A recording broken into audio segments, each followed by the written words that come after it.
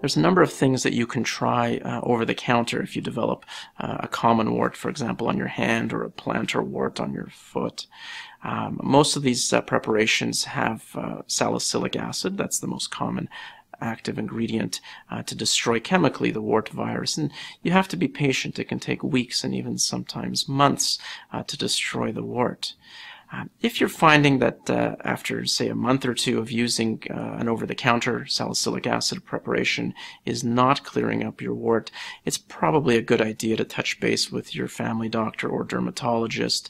Um, and we can do a number of things to uh, expedite uh, the wart uh, going away. Um, and if we get rid of it sooner rather than later, then you're less likely to develop more warts and less likely to give it to other people. So it does make sense to treat the warts.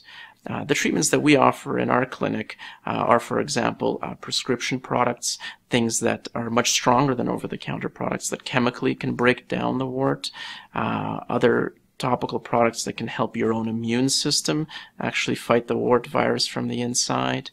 Uh, we also do things like liquid nitrogen, which is a very common treatment, and that's applying cold air around minus 200 degrees Celsius uh, to freeze burn the warts, and we often do that every couple of weeks.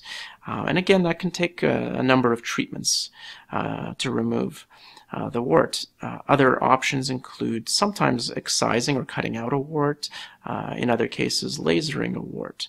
Um, again, there are a number of great options to clear up your warts uh, sooner rather than later. Uh, if you're frustrated, if you're concerned about your warts, uh, certainly if you have warts in the in the genital area, this is something that you want to see your your family doctor uh, or dermatologist about. Uh, there are a lot of great options, and uh, thankfully there are ways that we can now get rid of warts quite quickly.